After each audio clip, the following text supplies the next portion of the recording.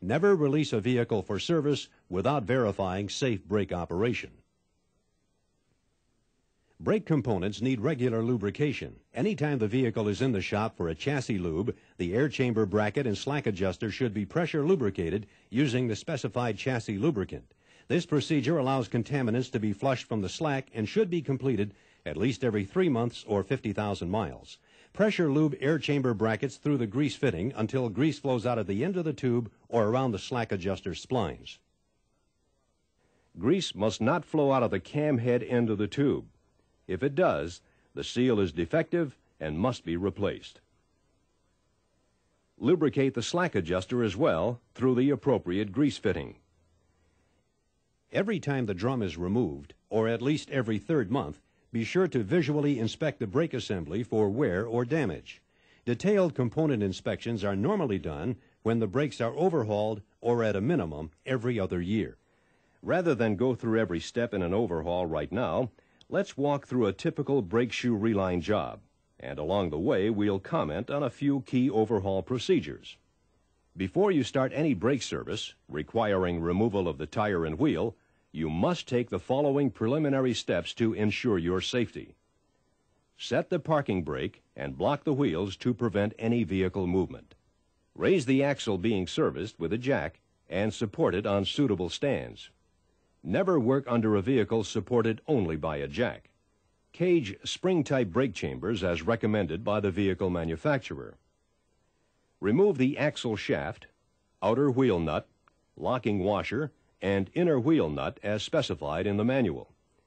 Gently pull on the drum until the outer wheel bearing comes free. Remove the drum by pulling outboard while rocking from side to side.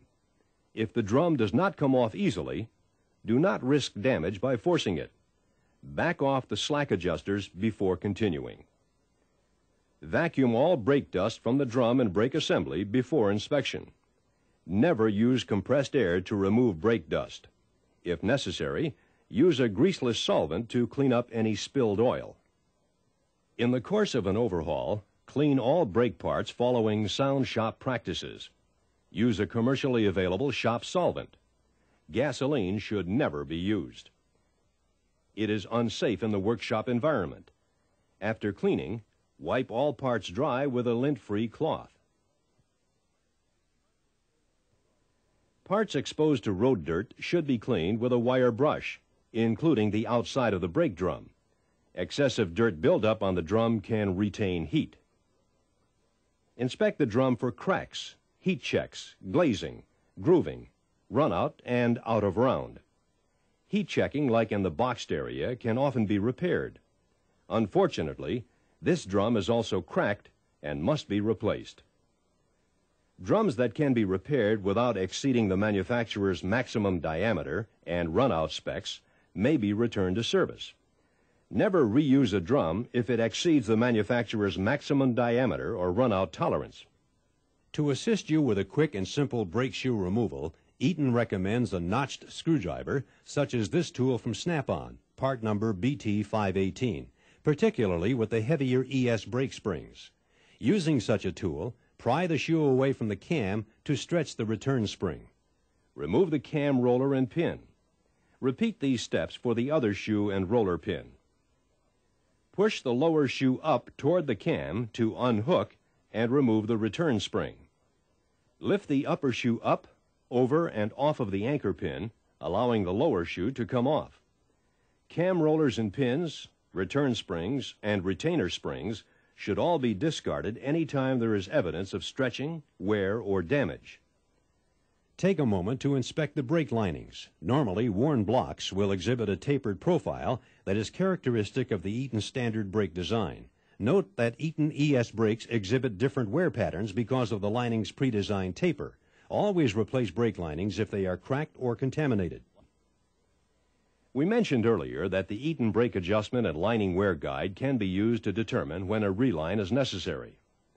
The black rectangle on the back of the guide is sized to correspond to the minimum allowable lining block thicknesses for steer axle and drive axle brakes.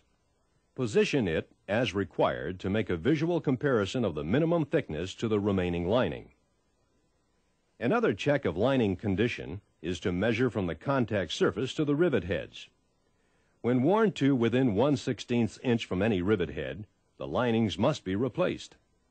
This is easily checked by holding the guide as shown and inserting the tab into the shallowest rivet hole. If the end of the tab touches the rivet head before the bottom edge of the guide touches the block, replace the linings.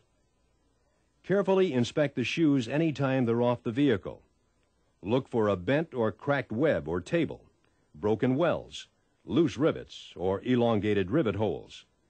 Replace the shoes if any of these signs are present. Check the anchor pin and camshaft roller recesses in the shoe webs for elongation or visible wear. If a shoe span gauge is available, check shoe span and compare it to the specs in the service manuals. Anytime you have the brake shoes off, it's a good idea to check the condition of the camshaft bushings in the air chamber bracket. This can be done quickly and easily by measuring camshaft radial play with a dial indicator. Mount a suitable indicator with the plunger referencing the cam face at 90 degrees to the cam bearing journal. Zero the indicator. Move the cam head radially back and forth and note the maximum reading. In a similar manner, mount a dial indicator at the slack adjuster end of the camshaft and repeat the procedure. Total deflections over 20 thousandths of an inch in either location indicate the need for bushing replacement. The spider should also be inspected any time the brake shoes are off.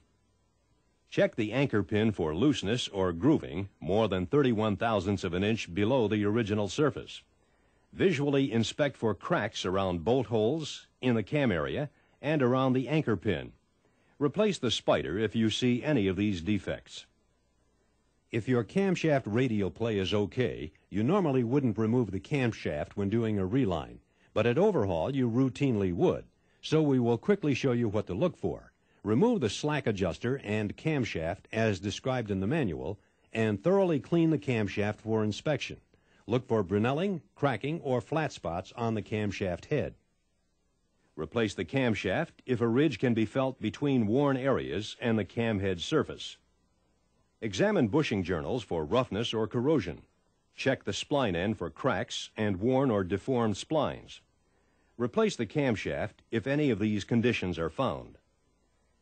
While you have the camshaft out, it's also a good idea to check the air chamber bracket bushings for roughness or wear, and all bracket fasteners for proper torque. The guidelines in the service manual will help you determine which components to replace at overhaul. We can't spend a lot of time on the subject, but would like to show you the replacement procedure you'll be doing if your truck flunked the camshaft radial play test. Remove the air chamber bracket as described in the service manual and clean it for inspection. Look for a bent, broken, or cracked arm or cracked wells. Drive out the old bushings with a punch. Install new bushings with a suitable piloted driver to the depth specified in the service manuals. New grease seals are installed flush with the end of the tube. Both seals must be installed with the lip side, the side with the spring, facing the slack adjuster end of the bracket. Improperly oriented seals may allow grease to exit the camshaft head end of the bracket and contaminate brake linings. Radial play should be checked after replacing the camshaft bushings. If it is still excessive, replace the camshaft. Before we return to our reline job, it's important to note that for best brake performance and reduced future maintenance costs, Eaton does not recommend brake relining. As lining wears, brake shoes tend to stretch to maintain full contact within the drum during brake application. Because of this tendency to stretch, a relined shoe is likely to result in uneven contact against the drum and ultimately reduce braking performance and excessive drum wear. Instead, Eaton recommends replacing worn shoes with top spec brake replacement kits available through your top spec distributor or a rebuilt brake now available from your closest Eaton authorized brake rebuilder.